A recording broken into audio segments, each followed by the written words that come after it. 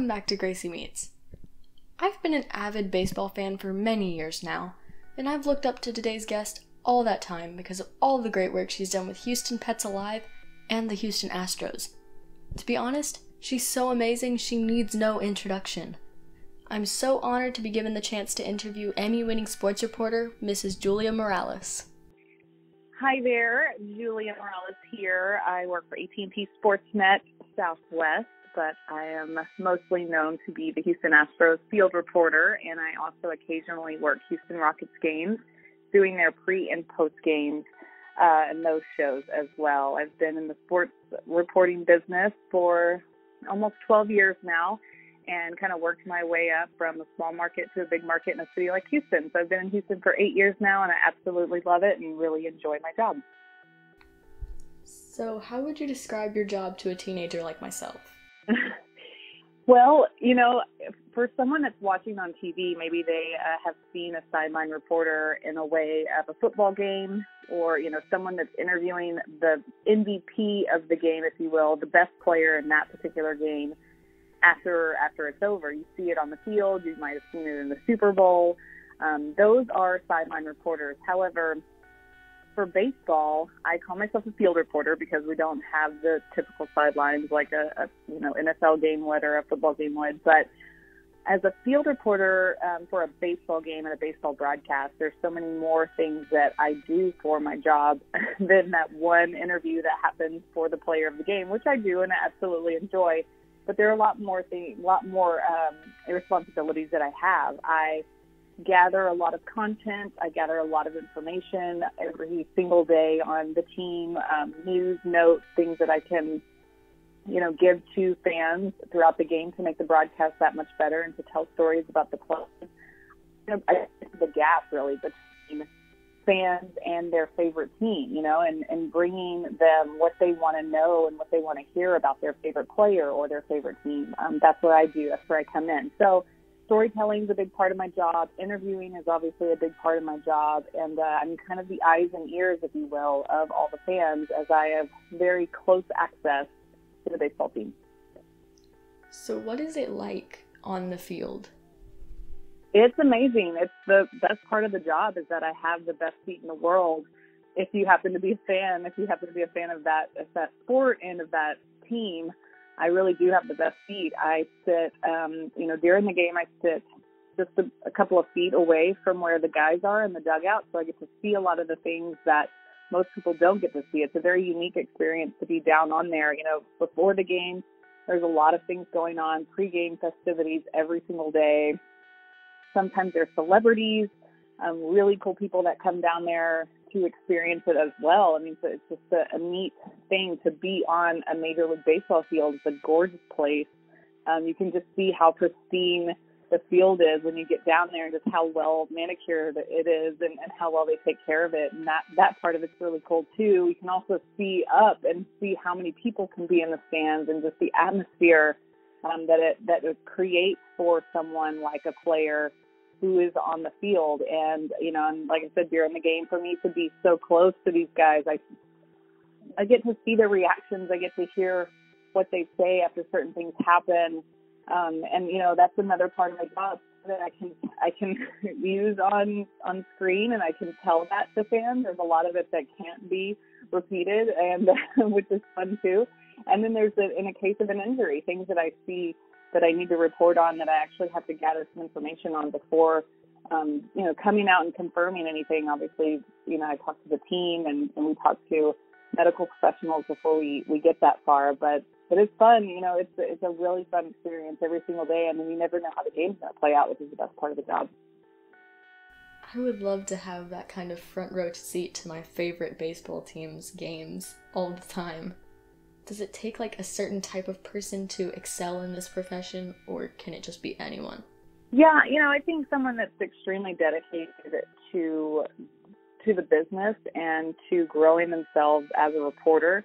Um, you know, the knowledge has to be there because of the things we're asked to do and, and I'm I'm coming up with my own content. I'm coming up with my own questions. I don't, you know, I do have people that could help me if I needed it, but that's not what they're there for. I mean, I, as a sideline reporter, as a field reporter, um, I am expected to know the ins and outs of the game and and what it takes to to get a really good answer from a player and how to ask a really good question. So I think someone that's that's that's ready to work hard, you know, that that's another thing is that these schedules for these these sports reporters, not just baseball but all sports, um, they're they're not uh, they're not your typical nine to five. You don't have weekends. You don't get holidays off. Um, there's a lot of sacrifices that we make when we sign up for this, knowing that the reward is that great. You know, it's like I, you know, I, I have missed so many birthday parties. I've missed so many weddings and functions and things that I wish I could have been a part of. However,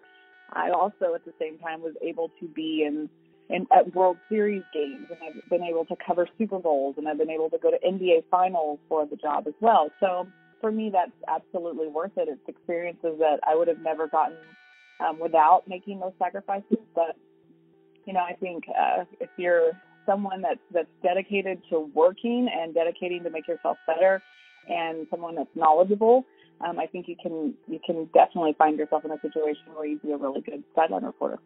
I never knew how much sacrifice was needed to put into this job.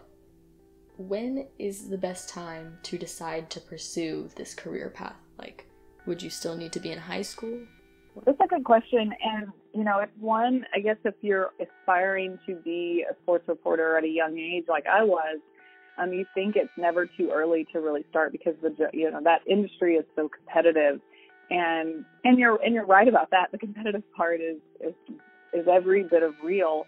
Um, as you can imagine, it's you know there's just there's only so much you can do until you get the opportunity to start practicing your skills and and so you know up until a point where maybe you could put yourself on camera or start writing or start taking photos whatever kind of journalism maybe that you want to pursue um, you know before that it's just having the knowledge reading. And it's not just knowing about one sport or one team. You know i, I bounced around from city to city and covered lots of different teams and, and lots of different pro teams. And lots of my friends who were in journalism programs went all across the country. And you just don't know where you're going to end up or what you're going to have to cover. So the best thing the best advice that I was probably given when I was younger and that I can share is that just know something about everything. You know, read whatever you can get your hands on. Watch sports, watch sports news, um, watch different anchors and how they how they act and, and how they transition and, and things that they say. And, and you know it's not just sports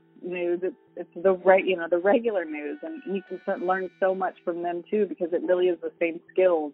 They're just reporting on different things um, when you do get to a point where you can actually start practicing the skills, like I mentioned, being on camera, writing stories, um, reading highlights, then it's just reps at that point. It's just reps, and then being able to uh, to practice on your own, having your own podcast, I mean, things like you're doing now is exactly what you should be doing because because that's what's available to you. Um, and then as you start your college career, there's internships and there's obviously things you can do um, after that. But um, I mean, you just you just start where you can, and, and you just you know get what get your hands on whatever you can that that would make you feel like you're preparing yourself uh, for a job. It's, I don't think it's ever too early, but I also don't think it's ever too late. As people have changed careers, um, you know, well into their you know mid twenties, thirties. You know, it's it's never too late either. This this world is is a really cool place, and you can pretty much do whatever you set your mind to. So um, don't ever count yourself out, no matter the age, because uh, it's it's all possible. Those are great tips. Do you need to have any specific skills to do this, or is there one skill that you must have? I would say, you know, depends on what you really want. I wanted to be a television reporter. Um, I wanted to be a news reporter first before I realized I could work in sports. Um, and for, you know, for that, it was my writing skills had to be good. I had to be good on camera. I had to be able to tell a story. And so those are very important skills that translate to sports as well. So I would say those are the things you need to be able to do. Writing has is a huge part of this and, and being able to create a story and write a story and get your point across. And then there are different ways to write a story. Newspaper and television are two completely different things. Um, you know, there's two different ways to write that. Um, so that's something that you'd have to learn. And then like, the telling the story is the biggest part. It's like how do you gather the information to tell the story, and, and that's what makes a really good reporter. So I would say those are the skills: being able to I mean, you can't be shy. You you can't just um, nothing's ever really given to you in any of this. You know, stuff you have to work for. So I would say those are the skills that you need in order to succeed at this uh, in these professions. I love that. How has your job changed in the past five years? I would say, you know, the the meat and potatoes of the job have been similar. I have because I've become more advanced and because I've been doing it and just had more experience, I've been able to expand a little bit on certain areas of the job, and I've been I've been asked to do more, which is really great. Um, you know, starting out with just maybe reporting, I've been hosting a little bit more, which means you know you're sitting on the desk and anchoring the show, and, and you're you're the voice of the show, and and that was something that I've gotten better at over the years. That was a little bit of a, a boost in my career on just one more thing I could do and, and being versatile. And then I would say the social media side of it has been so huge. And, you know, people are watching their Astros games and people are watching sports in many different ways now. It's not just on the television. And we have to keep up with that. And what I've learned is that there's a big need for the social media presence and there's a way to do it. And so that has been um, a learning curve for me as I've tried to kind of follow what fans have wanted. Um, and that's changed. That's changed year to year. It, it, you know, people ask, they want more, they want more, and how can I give them more? And so I've had to learn and, and find ways to do that and adapt. Um, but other than that, you know, baseball is baseball, and that part hasn't changed. There's been rules that I've had to get accustomed to as those have changed a little bit. But um, other than that, yeah, I mean, the broadcast is is still what it is, and I've enjoyed that part of it um, because I am so comfortable in that job now. I can I can start to have some fun with it. I'd like to thank you so so so much for being on my show today. I know your schedule is full of meetings right now, so thank you so much for giving me a portion of your very important time. Yes, of course. No, thank you for having me. Being on TV, talking to famous sports stars, and having the best seat in the house seems great but it takes a special type of person to become a sports reporter. You, you would have to give up a lot of personal time and have a special love for the game to be able to excel. One would have to be a dedicated person to do this. A normal person could never shine in this profession. But then again, show me a normal teenager. Thanks for listening.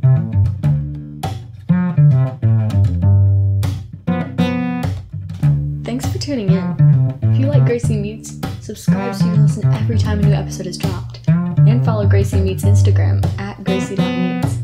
Tune in next Saturday for an astounding interview with a luthier. If you would like to know more about Houston Pets Alive or donate to them, go to houstonpetsalive.org. That's houstonpetsalive.org.